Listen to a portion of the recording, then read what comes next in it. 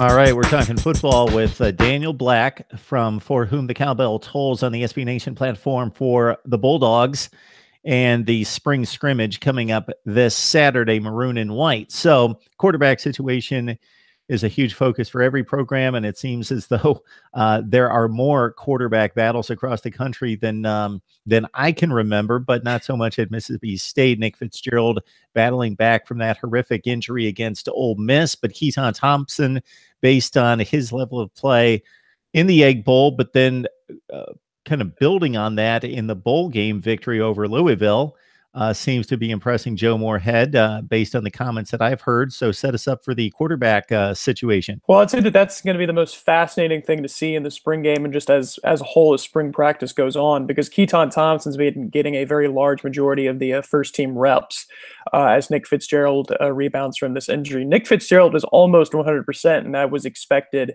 um, in the prognosis of his injury immediately after the Egg Bowl back in November.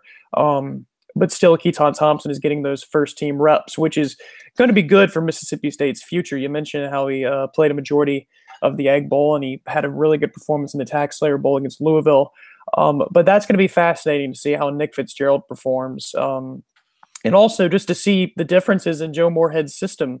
Uh, you know, obviously Dan Mullen is is one of the top offensive minds in the country and did great things with all of Mississippi State's quarterbacks, and Nick Fitzgerald, you, you could tell his uh, progress last season. But Joe Moorhead uh, has sort of promised to add a little bit to that. Uh, see, maybe let uh, Nick Fitzgerald a bit, bit let him or set him free, I guess. Um, but we'll see um, how he'll perform in Joe Moorhead's system. Just how, uh, just where his comeback is in terms of his injury. Um, but in addition to that, saying how Keytaon Thompson performs uh, after his solid performances last season.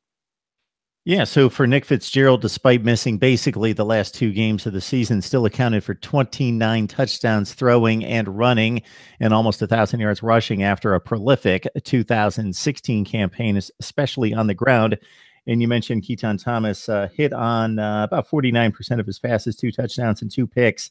And again, we saw the improvement from the Ole Miss game uh, a month later against Louisville in the upset win over the Cardinals. Should be very interesting. I know Joe, Joe Moorhead made the comment.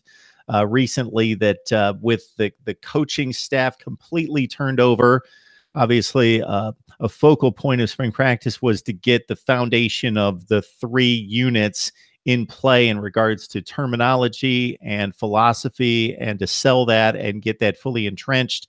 Uh, not that things aren't going to continue to uh, mount in regards to development and and uh, complexity of those playbooks uh, and those schemes on all three units in August, but uh, that they wanted to lay the foundation. They got to that point with the offense, the defense, and the special teams. Uh, the wide receivers uh, will come into play as well, and and we see a lot of fresh faces there here uh, in the spring.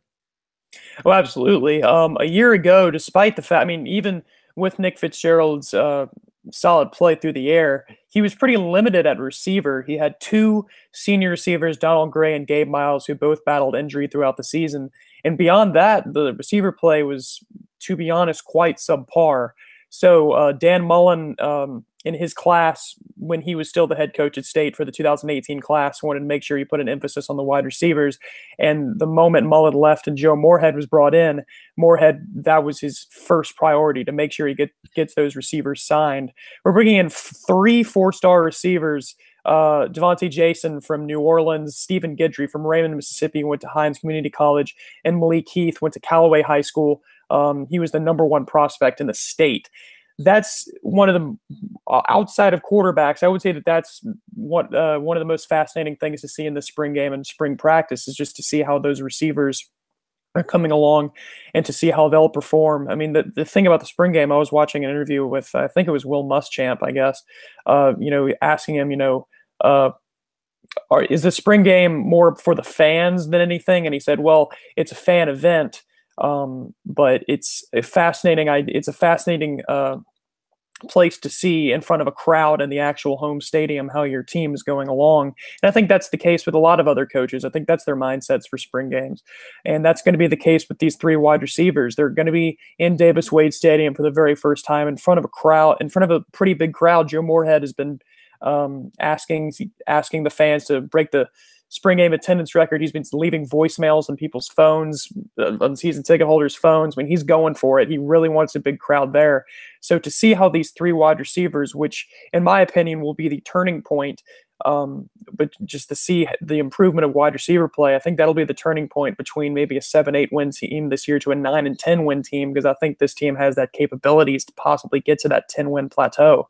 Um, those wide receivers are going to be extremely important. So seeing where they stand, seeing their progress in Joe Moorhead's system, knowing that this is their first year on campus will be very fascinating to see.